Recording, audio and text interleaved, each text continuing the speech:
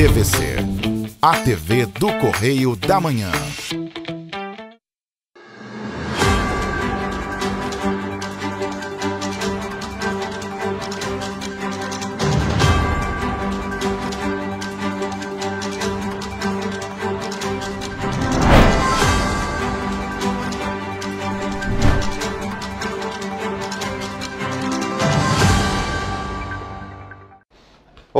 Chegamos com o nosso Correio Serrano na TV. Sejam muito bem-vindos. Muito obrigado pela presença e audiência. Pré-sexta, Roberta. Olá para você, Olá, viu? Jorge. Todo mundo feliz, Olá, né? Pré-sexta. É. Olá para você que nos acompanha. Seja muito bem-vindo. Lembrando que você pode participar do nosso jornal. Mande para cá sua sugestão de reportagem, sua reclamação, sua denúncia para os nossos canais, que são quais, Jorge? TVC, Correio da Manhã, arroba gmail.com e, é claro, o nosso WhatsApp, o DDD 24, telefone 99323 1675. Manda sua mensagem, participa com a gente, é claro. A gente vai atrás da informação para você, viu?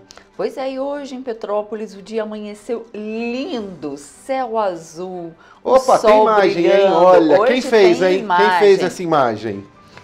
Fui eu, né? Ô, Olha Roberta que imagem Costa aí linda. arrebentando aí Céu nas imagens, azul, azul, azul, sem nenhuma nuvem, o sol, olha que lindo, brilhando. Vale até a pena ver novamente, né? Eu adoro o céu Muito bom, assim. aí, que beleza de imagem, hein? Lindo. E agora que eu vi que eu vim até combinando. É, eu também, né? Vim de azul, De azul aqui. também, é, o- combinando Quinta-feira usa azul, tá tudo certo. Vamos então às notícias desta quinta-feira, dia 31 de outubro. Ministério Público divulga propostas de atuação integrada entre os ministérios. Richard Gael, que estava desaparecido, foi encontrado pela polícia. Governo do Estado vai trabalhar para reduzir entrada de fuzis no Rio de Janeiro. Câmara de Petrópolis aprova projeto de lei que prevê contratação de empresas para poda de árvores. 1.500 mudas são plantadas no Parque Municipal na sede da Pedra da Tartaruga em Teresópolis. Corais dos Canarinhos de Petrópolis, Orquestra Sinfônica da UFRJ apresentam concerto em homenagem ao Dia de Finados, agora no Correio Serrano na TV.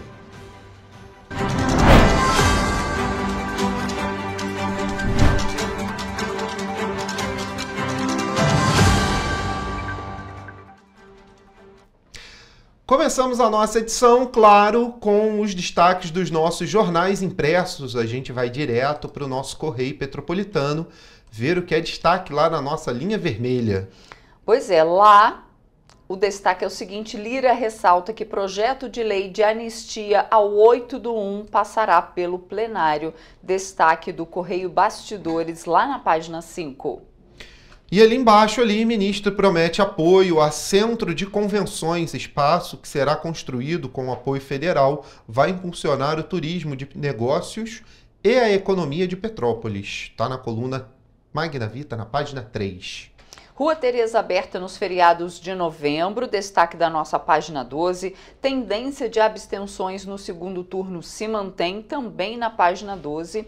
E tem ali na coluna Magna Vita, também na página 3, falando do novo prefeito de Petrópolis, porque após quatro dias eleito, Ingo começa a maratona em Brasília. Quatro dias após ser aclamado como prefeito eleito de Petrópolis, Ingo Rames, do PP, esteve em Brasília nesta quarta-feira em uma agenda com o ministro do Turismo, Celso Sabino, para discutir estratégias para impulsionar o turismo da cidade, como a construção de um centro de convenções e a ampliação do calendário de eventos do município. A cidade tem um potencial enorme para cultura e turismo e no encontro essas questões foram apresentadas ao ministro. Vamos então lá para a página 12, no Petropolitano. Aumentam abstenções no segundo turno em Petrópolis, viu? 35,6% dos eleitores não foram às urnas no último domingo, dia 27. Dos 245.180 eleitores aptos a votar na cidade de Petrópolis, apenas 157,664 compareceram às zonas eleitorais no último dia 27 de outubro. Olha, quase 100 mil habitantes não foram, né? Foram 87.516 aí abstenções no voto. uma margem muito alta de abstenções em votação aqui em Petrópolis. Pois é, e ainda tem mais. Nessa página, logo ali embaixo, denúncia de má qualidade da comida aos servidores.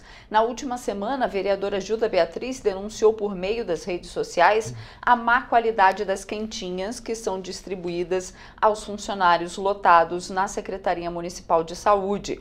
De acordo com a parlamentar, os funcionários relataram ter encontrado alimentos crus e azedos. Abre aspas, a comida vem revirada, toda de qualquer jeito para nós. Chega fora de hora, fria e sem nenhum tempero. Além disso, às vezes vem azeda, estragada, já cheguei, já achei até cabelo. É triste jogar alimento fora, mas ninguém consegue comer essas quentinhas que mais parecem lavagens, revelou a reportagem uma funcionária que atua em uma das unidades de saúde que pediu para não ser identificada identificado. Olha isso, gente. É. Que absurdo. Péssimo. E olha, ali no Petro, na Petropolitanas tem uma notícia ali que vai mexer com Petrópolis, viu? Invalidade jurídica impossibilita acordo. A Prefeitura de Teresópolis resolveu não prosseguir com o acordo que havia acertado com a Prefeitura de Petrópolis para desistir da ação que ingressou, que suspendeu a liminar da quarta vara civil que garanta aí a Petrópolis percentual maior no rateio do ICMS no Rio de Janeiro, ou seja, tudo aquilo que a gente já vem falando. A gente falou bastante lá na sexta-feira, falamos muito no domingo aqui das eleições.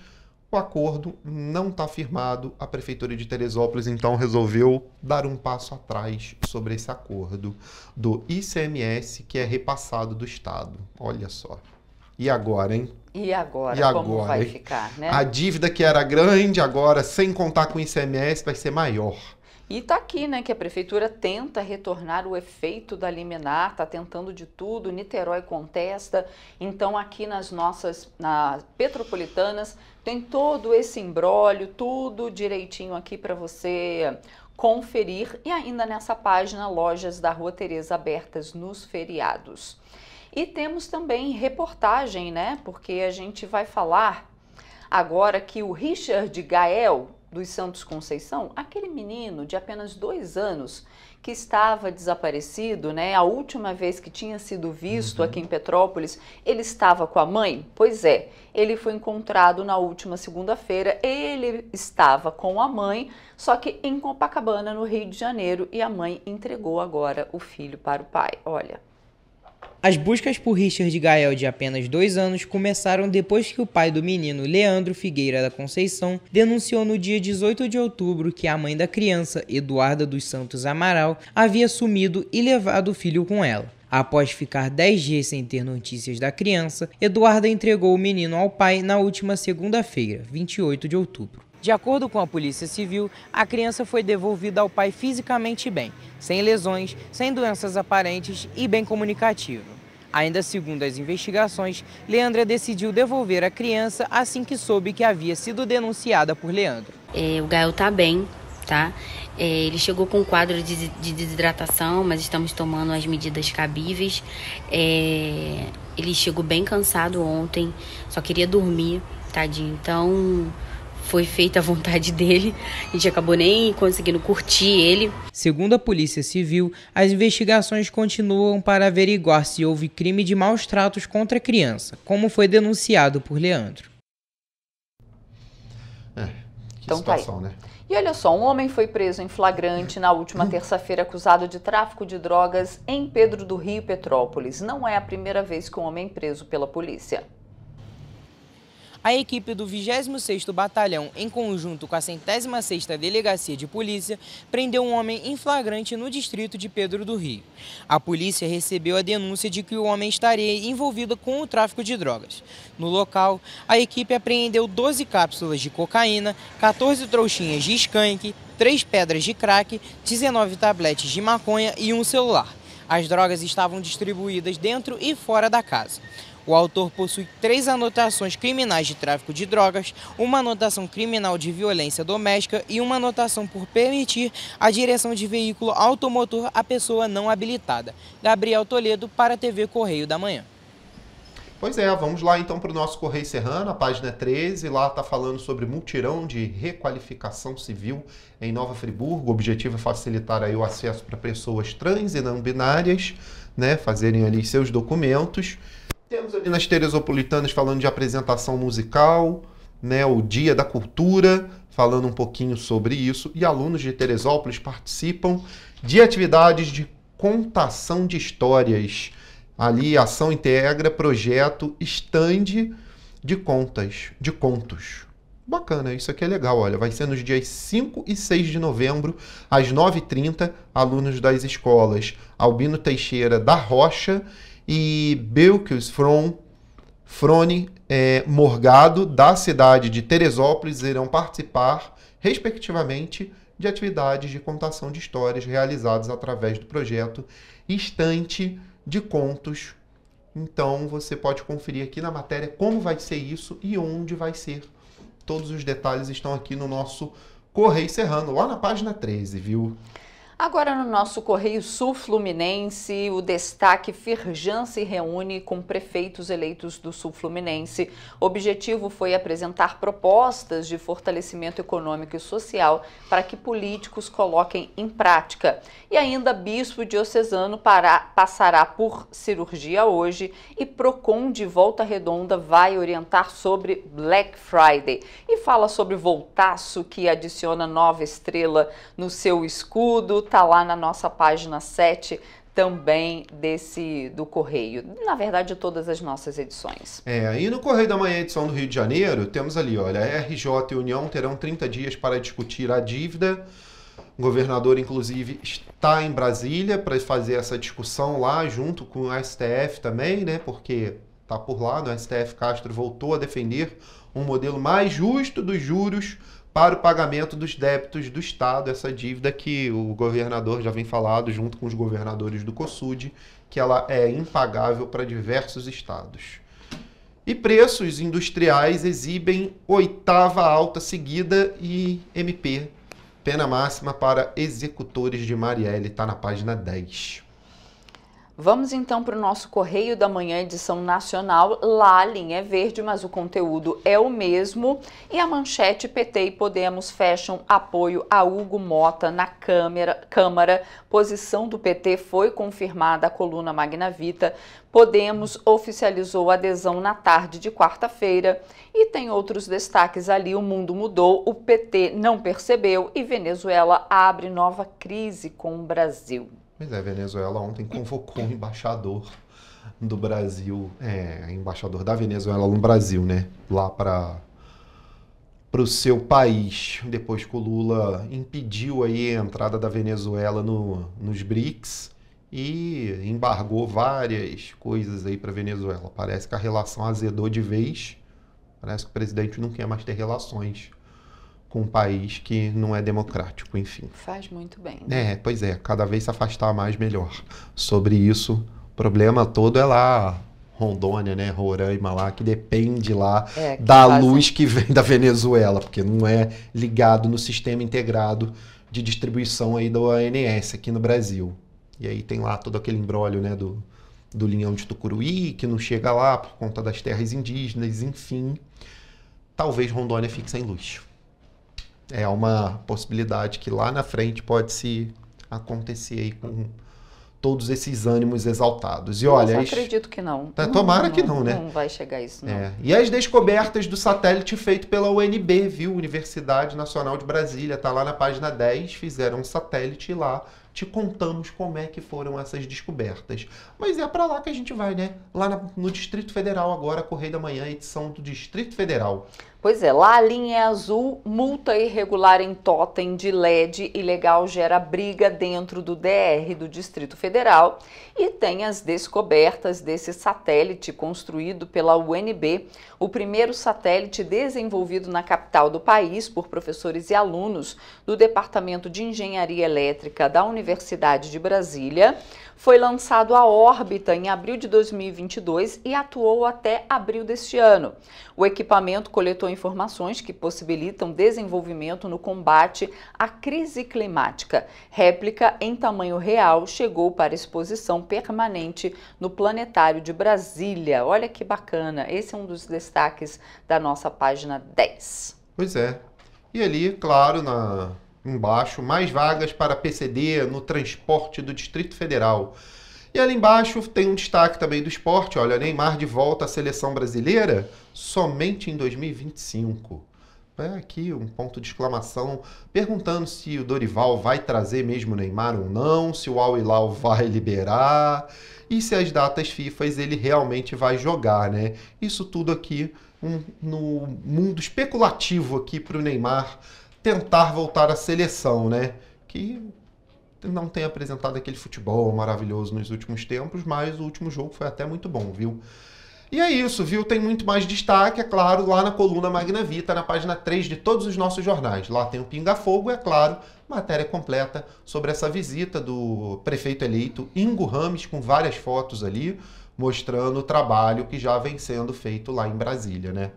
Pois é, principalmente pelo turismo, né? Petrópolis tem essa grande vocação do turismo, a gente tem grandes festas, né? É. Natal Imperial, tem a Bauernfest, que atrai muito. E aí vocês veem os representantes da cidade, com o secretário estadual de turismo, Gustavo Tutuca, e também com o ministro do turismo. Tomara né, que sejam alinhadas assim grandes coisas para Petrópolis, é o que a gente espera. Não sei se você vai lembrar, me relembra a cidade que fez aqui o Parque dos Dinossauros, foi Miguel Pereira? Miguel Pereira. Pois é, tá dando de lavada na gente, é, né, no turismo. É Parque dos Dinossauros, aí abriu agora um outro parque também lá, que eu não vou me lembrar o nome, mas demos aqui, e tá nadando de braçada no turismo. Miguel Pereira, gente. É. Uma cidade que não tem tradição nenhuma no turismo. Tô errado?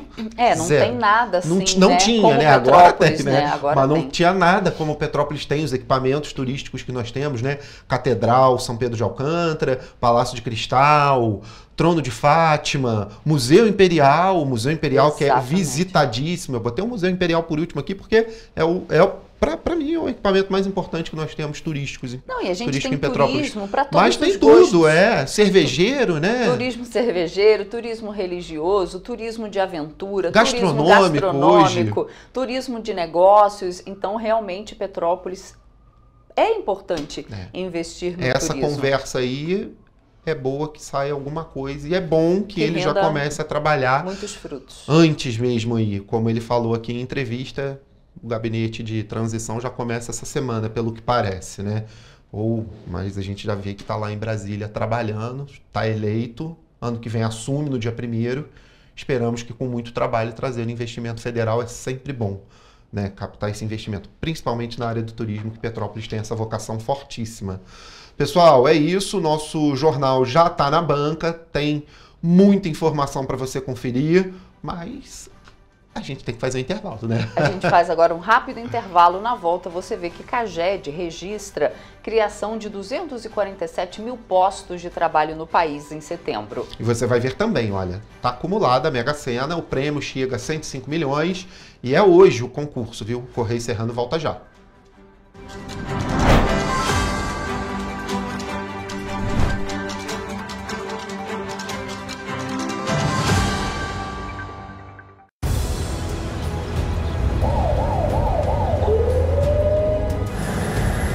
Governo do estado do Rio já investiu mais de 8 bilhões na saúde.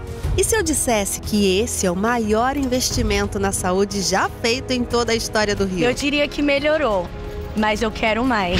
Depois de três anos parados, os mamógrafos móveis estão de volta. Pra gente cuidar melhor das mães e dos bebês. O governo do estado também está investindo na saúde especializada. Porque se o problema é complicado, mais atenção ele precisa. Melhorou mas para a saúde a gente sempre quer mais. O importante é que a saúde esteja mais perto das pessoas. Por isso, todas as regiões do Rio recebem a mesma atenção. É, melhorou, mas eu ainda quero mais. O governo do Rio de Janeiro também quer. Então pode ter certeza, o trabalho e os investimentos vão continuar. Governo do Estado do Rio de Janeiro. Para ter mais qualidade de vida, conte com a maior rede de academias de Petrópolis. Aqui na Copper, com uma mensalidade, você utiliza todas as unidades: Centro, Bingen, Itamaraty e Itaipava. Com planos a partir de R$ 89,00 e a academia oferece ambientes modernos para você cuidar da sua saúde com segurança. Os espaços contam com dezenas de aparelhos de musculação, diversos equipamentos para aeróbico e funcional, além, é claro, de profissionais qualificados e uma extensa grade de aulas coletivas, que inclui dança, bike, jump, wolf fit, step fit, entre outras. Nossas estruturas são equipadas com salas de musculação e aulas coletivas, salas de avaliação física e nutricional, vestiários e estacionamentos amplos. Venha nos fazer uma visita e surpreenda-se! Janeiro, atração o ano inteiro. Tem descanso,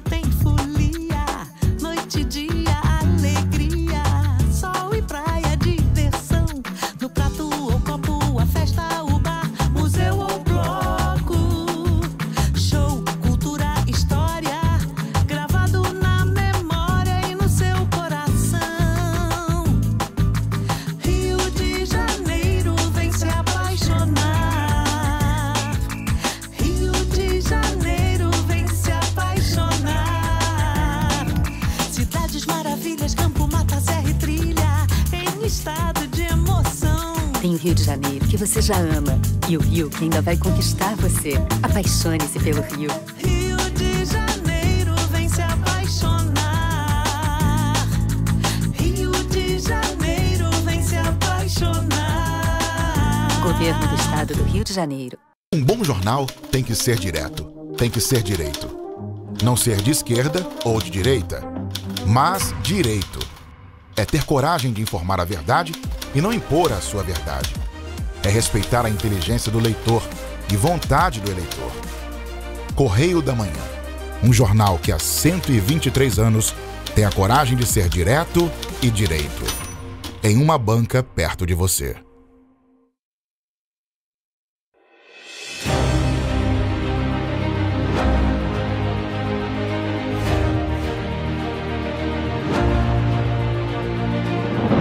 Não é jornalismo de direita, é jornalismo direito. Correio Petropolitano. Tudo que seu jornal não deveria ter deixado de ser. Todos os dias, em uma banca perto de você.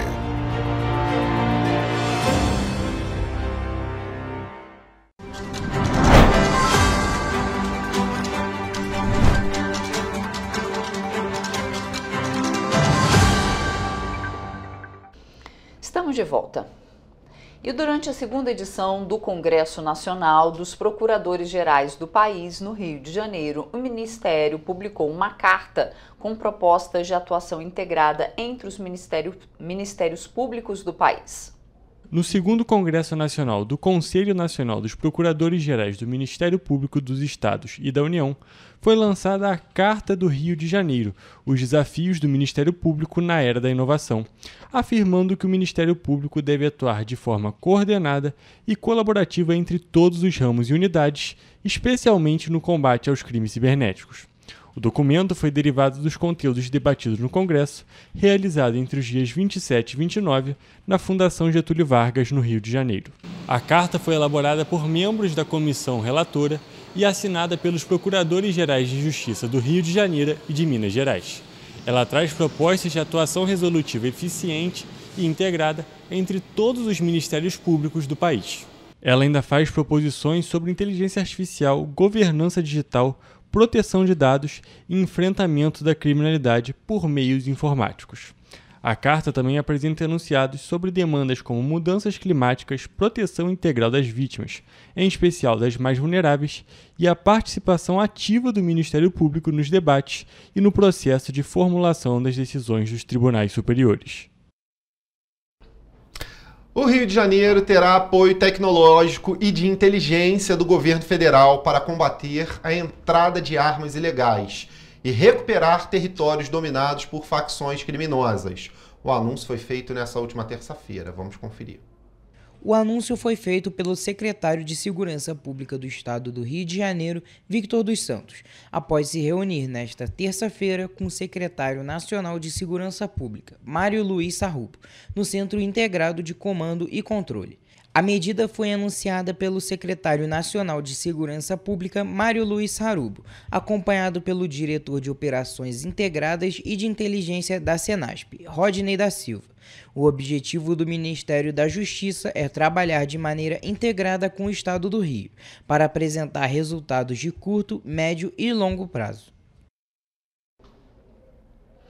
E a Operação Lei Seca autuou 365 condutores por alcoolemia no teste do bafômetro nesse fim de semana em todo o estado do Rio. Os municípios de Maricá, Cabo Frio, Macaé, Teresópolis, Arraial do Cabo e bairros da Barra da Tijuca e do Recreio dos Bandeirantes na cidade do Rio registraram as maiores quantidades de flagrantes no bafômetro.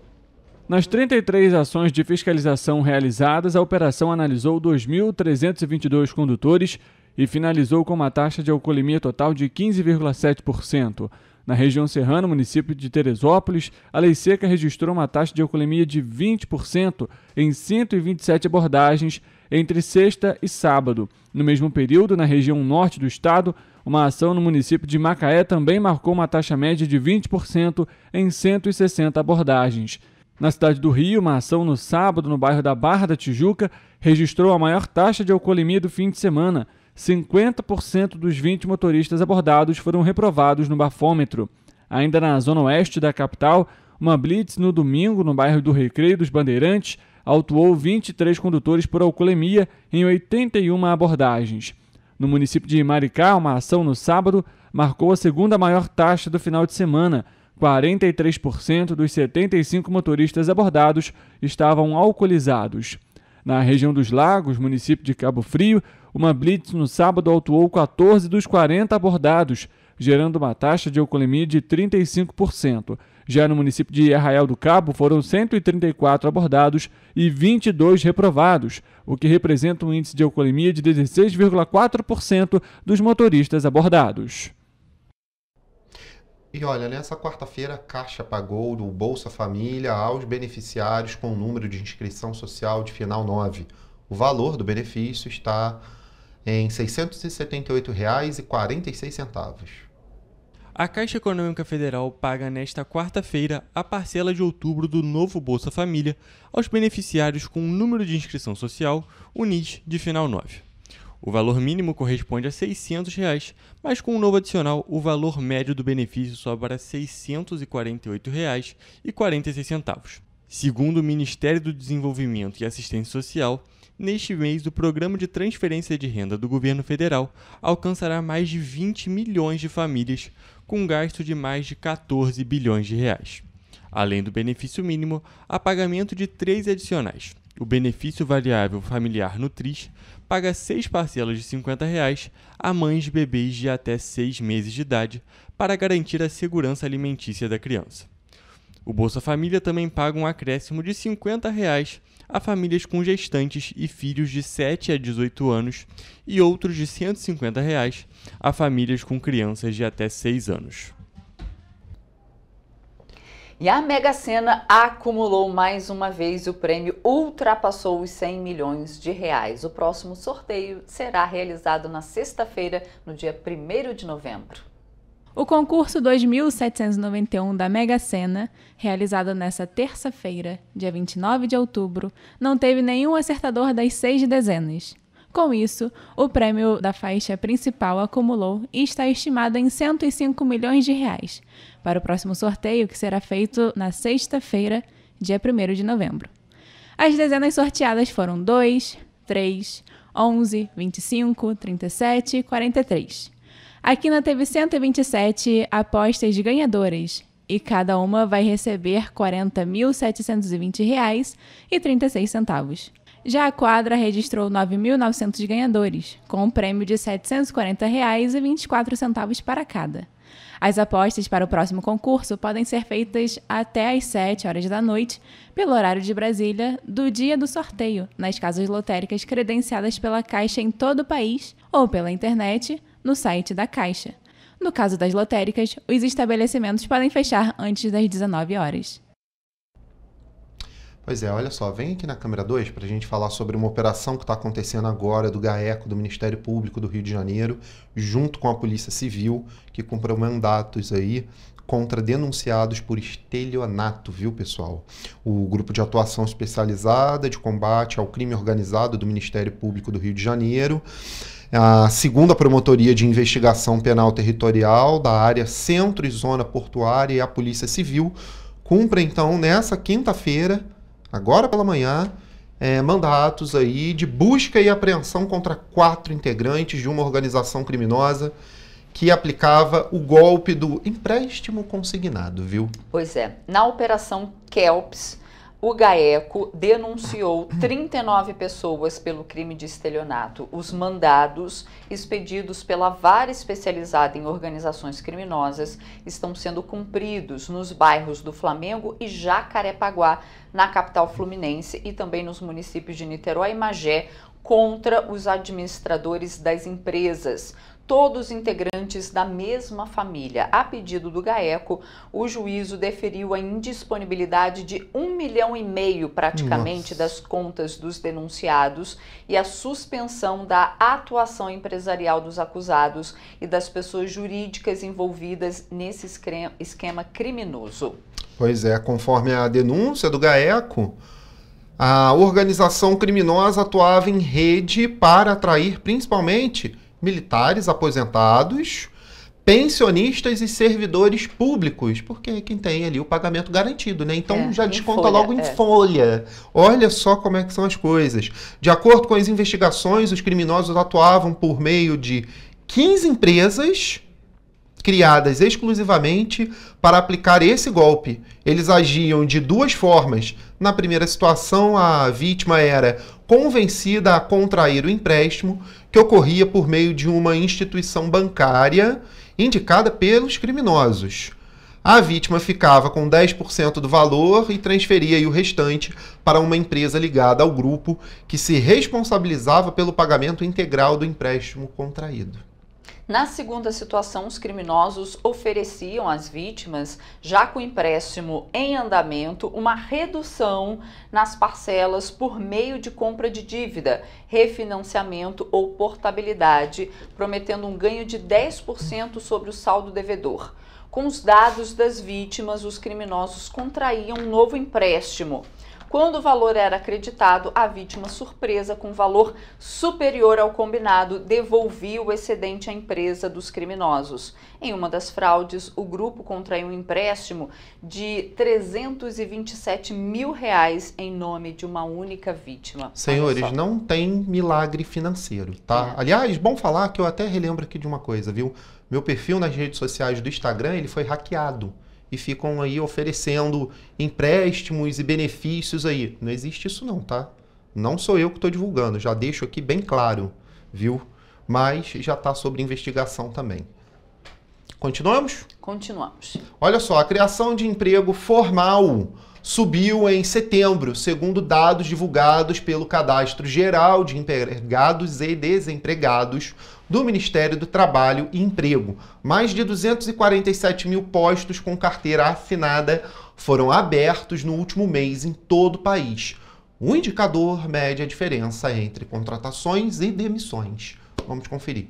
A criação de empregos subiu 21,1% em relação ao mesmo período do ano passado. Nos nove primeiros meses do ano, foram abertas 1.981.557 vagas no país. O resultado é 24% mais alto que no mesmo período do ano passado. A comparação considera os dados com ajuste, quando o Ministério do Trabalho registra declarações entregues fora dos prazos pelos empregadores e retifica os dados de meses anteriores. Na divisão por ramos de atividade, quatro dos cinco setores pesquisados criaram empregos formais em setembro. A estatística foi liderada pelo setor de serviços, seguidos pela indústria E em terceiro lugar ficou o comércio, com a criação de 44.662 postos de trabalho. Todas as regiões brasileiras criaram empregos com carteira assinada em setembro.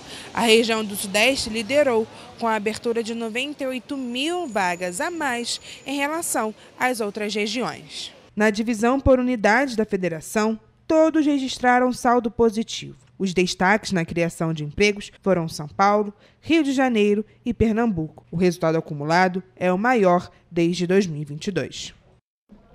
Pois é, é isso, né, pessoal? Acaba de chegar aqui também uma outra notícia.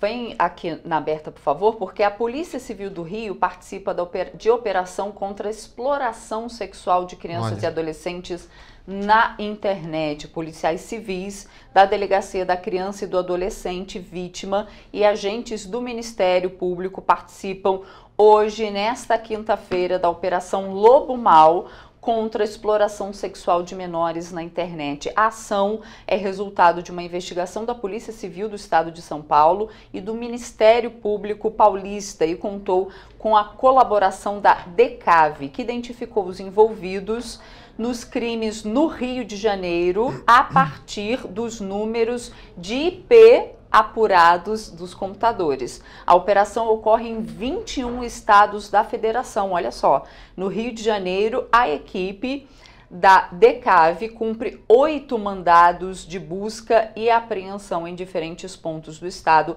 enquanto o MP cumpre outros dois. Todo o material apreendido será periciado e analisado a fim de auxiliar nas investigações. Tá não adianta tentar fugir, porque, gente, todo equipamento eletrônico que entra na internet, tem ele um gera IP. um númerozinho de IP. Ah, mas tem um site que muda o meu IP. Perfeito, você pode mudar, só que o endereço registrado daquele IP mudado vai ser o mesmo. Então não adianta. A polícia vai cruzar dados e vai olhar e vai falar: bom, IP1, endereço X, IP2, endereço X, IP3, endereço X, Bom, vamos bater na porta desse, desse vamos rapaz no endereço aqui, X, né? né? Vamos no endereço X. É isso. E vai uma hora, vai ser pego. Pode demorar, porque tem que ter uma apuração, tem que ter uma investigação muito longa, às vezes, por trás disso, mas vai ser pego, viu? Não tem jeito. Pois é.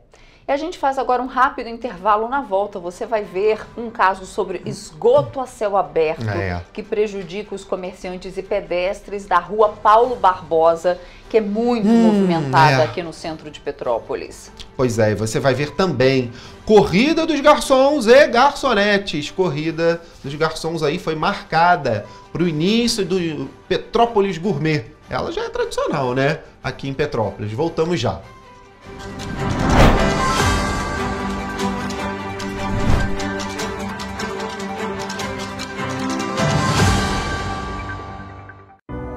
Minha mãe é socorrista do SAMU. Ela trabalha muito ajudando as pessoas. Ela tá sempre pronta para atender todo mundo, em todo canto da cidade. E para atender as pessoas com mais agilidade, agora tem até moto, a motolância, e helicóptero também. Ela me contou que agora o Rio tem muito mais SAMU. É verdade. O SAMU mudou para atender melhor, para chegar mais rápido.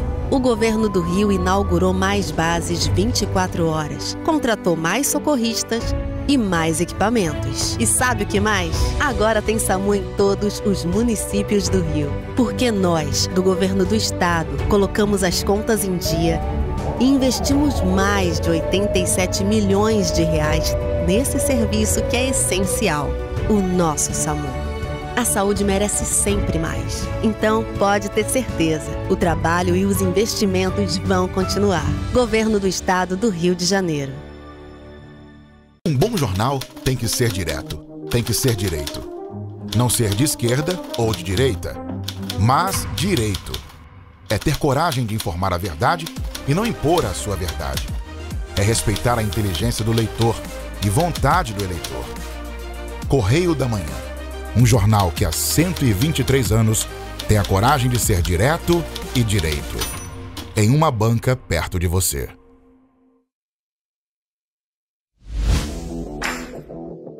Para ter mais qualidade de vida, conte com a maior rede de academias de Petrópolis. Aqui na Corper, com uma mensalidade, você utiliza todas as unidades: Centro, Bingen, Itamaraty e Itaipava. com planos a partir de R$ 89,00. E a academia oferece ambientes modernos para você cuidar da sua saúde com segurança. Os espaços contam com dezenas de aparelhos de musculação, diversos equipamentos para aeróbico e funcional, além, é claro, de profissionais qualificados e uma extensa grade de aulas coletivas, que inclui dança, bike, jump, wolf fit, step fit, entre outras. Nossas estruturas são equipadas com salas de musculação e aulas coletivas, salas de avaliação física e nutricional, vestiários e estacionamentos amplos. Venha nos fazer uma visita e surpreenda-se! O Rio Imagem Baixada já superou a marca de 650 mil exames. Com cuidado especial para a saúde da mulher, o maior centro público de diagnóstico da América Latina tem capacidade para fazer 40 mil exames mensais e traz tudo num só lugar para atender com mais agilidade e eficiência. Rio Imagem Baixada, nove meses. Chegou o resultado. O que era para poucos, agora é para todos. Governo do Estado do Rio de Janeiro. O trabalho não para, é todo dia e é de todos.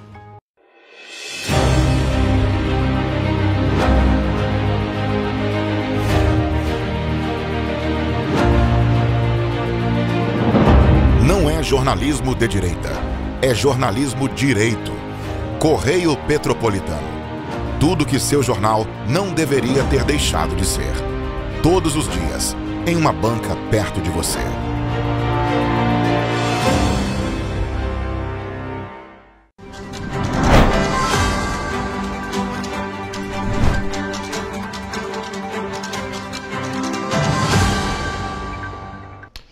Estamos de volta e olha só, a Câmara Municipal de Petrópolis aprovou nesta terça-feira um projeto de lei que permite aos moradores contratar empresas especializadas para realizar serviços de poda, corte, remoção e destoca de árvores em áreas públicas próximas a residências. A nova regulamentação, que visa facilitar a manutenção e preservação de árvores em passeios públicos, representa uma resposta às inúmeras solicitações da população para solucionar casos de árvores em condições de risco. Protocolo Legislativo, processo 4335-2023, dispõe sobre a execução dos serviços de poda, corte ou remoção, com destaque na substituição de árvores no município de Petrópolis e da outras providências. Sala das sessões, 23 de agosto de 2023. Segundo o projeto de lei, moradores vão poder, mediante autorização prévia da Prefeitura e a emissão de um laudo técnico, contratar empresas qualificadas para realizar o serviço.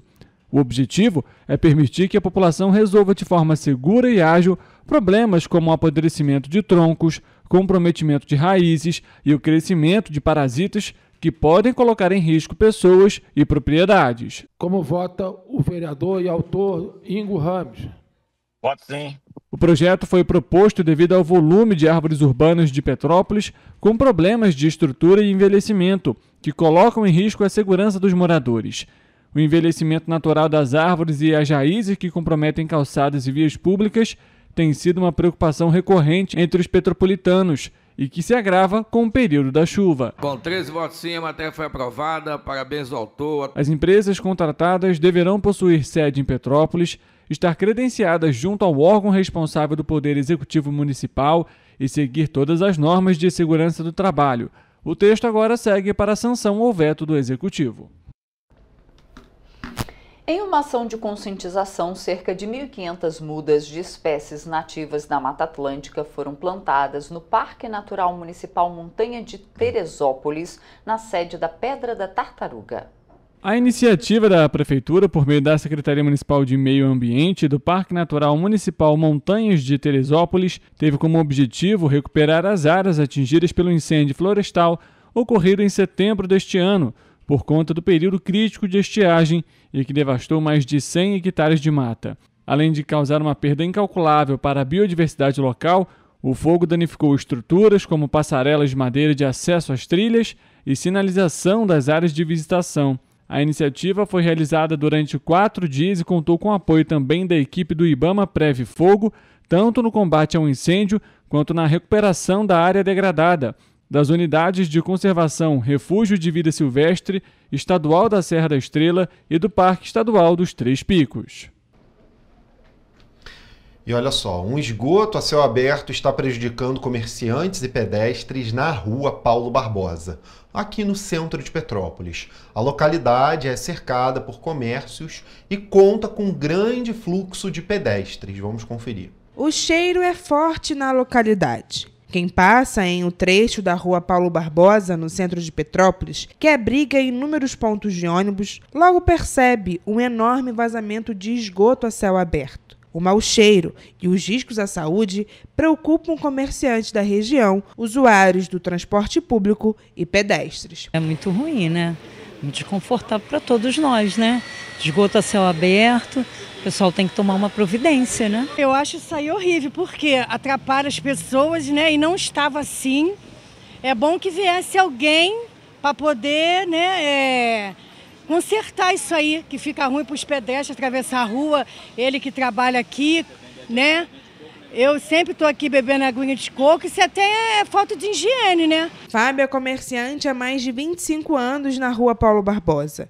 E nos últimos três meses, período em que tem sido obrigado a conviver com o esgoto a céu aberto, os dias têm sido cada vez mais difíceis na localidade. Olha bastante, né? Tanto a minha aqui que trabalho com produto de alimento, né?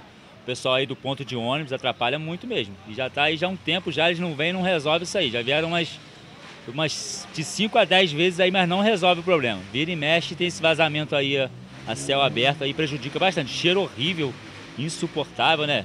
Bem desagradável. O vazamento começa aqui, local onde é ponto de ônibus. Mais uns 10 a 15 passos, a gente consegue observar que o resíduo continua até desaguar a mais ou menos uns 2 metros, onde é um bueiro, o que atrapalha ainda mais o comércio local.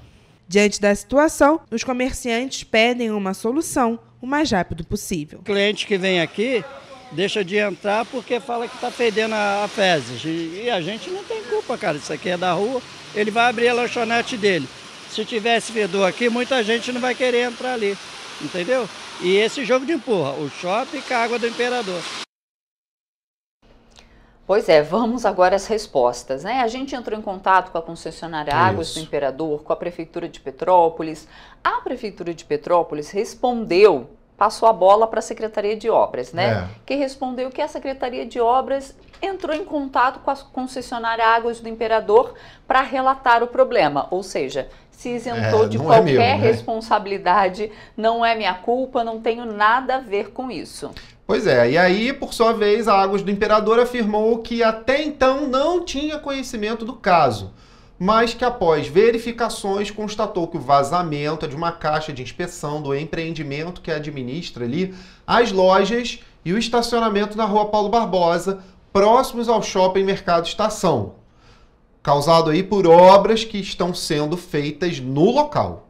A concessionária então está aí dando essa é, nota, no caso. E a concessionária ressalta, então, que é de responsabilidade do empreendimento fazer esse reparo. A Águas do Imperador já entrou em contato com os responsáveis e uma inspeção será realizada no dia de hoje. A gente espera que se resolva é. isso, porque não dá para a população ficar passando ali com esse cheiro né, de esgoto, ficar é. passando no esgoto. Eu né? só quero lembrar que ali era onde tinha aquele bar, lembra? Isso. Que ficava ali no ponto de ônibus, foi desmontado, teve um problema, um embrólio judicial para aquilo ali. E aí foi feita uma obra muito grande ali para se fazer aquele ponto de ônibus ali. Parece que a obra não foi bem feita. Pois é. Continua aqui, porque olha só, essa notícia é muito legal, porque a tradicional corrida dos garçons e garçonetes foi realizada na segunda-feira na Cervejaria Boêmia e marcou o início das atividades do Petrópolis Gourmet 2024, que esse ano traz o tema Sinfonia de Sabores. Oh, Vamos ver. O evento reuniu 33 profissionais de bares e restaurantes de Petrópolis, incluindo 10 mulheres, em uma competição que testou o equilíbrio e agilidade dos participantes, enquanto carregavam copos cheios, e sem derramar uma gota. As torcidas organizadas e os familiares compareceram em peso, vibrando a cada disputa acirrada até o final. Marcos Vinícius, com 15 anos de experiência no Majórica, e Yasmin, da Casa Pellegrini, foram campeões das categorias masculino e feminino, levando para casa 500 reais cada. Yasmin também foi campeã da edição de 2023. O Petrópolis Gourmet vai ser realizado entre os dias 8 e 24 de novembro, em diversos locais da cidade. E o evento tem na programação palestras, rodas de conversas, oficinas e também ações sociais.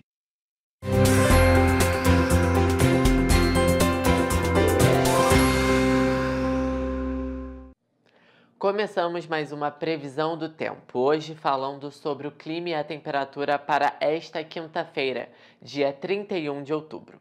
A gente começa a previsão alertando a população para possíveis pancadas de chuva que podem ser registradas nesta quinta-feira. Em Nova Friburgo, por exemplo, o dia será de tempo nublado durante todo o dia e com possibilidade de pancadas de chuva no período da manhã e tarde. As temperaturas vão variar entre mínima de 12 e máxima de 20 graus. Já em Teresópolis, situações similares, previsão de pancadas de chuva durante todo o dia. Com ventos fracos, as temperaturas vão variar entre mínima de 13 e máxima de 20 graus. Petrópolis, nesta quinta-feira, será de céu nublado, possibilidade de pancadas de chuva isoladas e queda na temperatura mínima, que deve registrar 14 graus. Já a máxima não passa de 20 graus. Em Paraíba do Sul, o dia será de queda na temperatura. Com muitas nuvens no céu, a possibilidade de pancadas de chuvas isoladas e as temperaturas devem variar entre mínima de 14 e máxima de 20 graus. E para finalizar, a quinta-feira em Três Rios será de ventos fracos e também declínio na temperatura. Com céu encoberto e possibilidade de chuva a partir do período da tarde até a noite, os termômetros vão marcar mínima de 16 e máxima de 28 graus. Vale sempre lembrar que, em caso de emergência, a população deve entrar em contato com o Corpo de Bombeiros por meio do telefone 193 ou com a Defesa Civil através do número 199. Esta foi mais uma previsão do tempo. Aproveite o dia e mantenha-se informado sobre as condições climáticas locais. Até a próxima!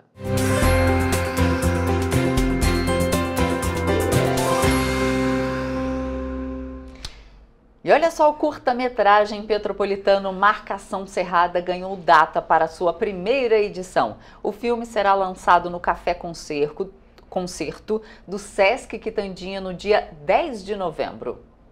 O curta-metragem Marcação Cerrada fará pré-estreia no Café Concerto do Sesc Quitandinha. A primeira sessão, marcada para as 6 da noite, já está esgotada, mas em resposta à alta demanda, foi aberta uma sessão extra às 7h30. Os ingressos são gratuitos e podem ser retirados na bilheteria do local antecipadamente. O longa é dirigido, roteirizado e escrito pelo cineasta petropolitano Rodolfo Medeiros. O filme foi gravado em locações de Petrópolis e do Rio de Janeiro, destacando pontos da cidade imperial, como a Catedral São Pedro de Alcântara e o Estádio do Maracanã, no Rio de Janeiro. Marcação Cerrada conta a história de quatro amigos com síndrome de Down que, mesmo adultos, enfrentam a superproteção familiar. O filme revela, através de cenas do cotidiano, como os protagonistas, apesar de suas realidades distintas, compartilham semelhanças profundas. Essa conexão destaca a importância da autonomia e do direito à decisão na vida de cada indivíduo, convidando o público a refletir sobre a universalidade da experiência humana e a necessidade de respeitar e valorizar a escolha de todos. E olha só, Petrópolis receberá nesse final de semana, no sábado, dia 2 de novembro, um concerto gratuito com a apresentação dos corais dos Canarinhos de Petrópolis e da Orquestra Sinfônica da Universidade Federal do Rio de Janeiro. Petrópolis será palco de uma celebração emocionante, com a apresentação de Requiem de Wolfgang Amadeus Mozart, uma das mais poderosas e comoventes obras sacras da história da música.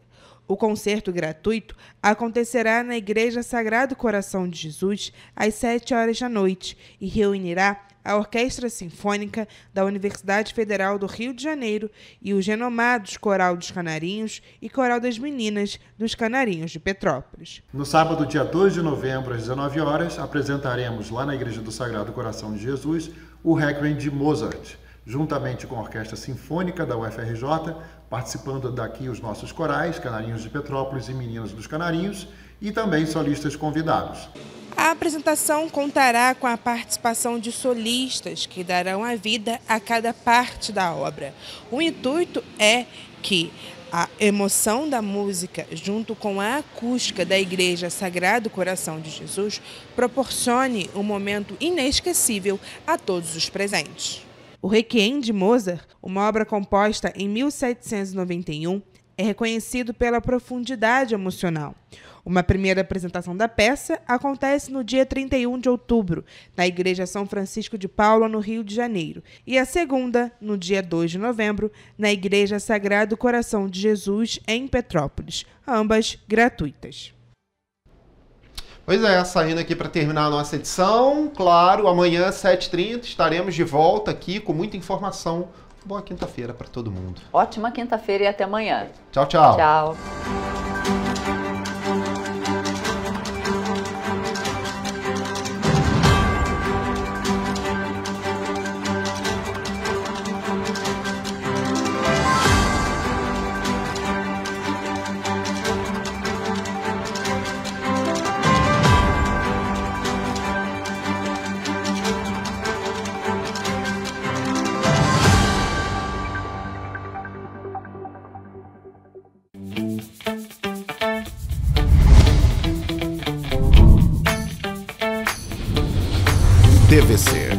A TV do Correio da Manhã.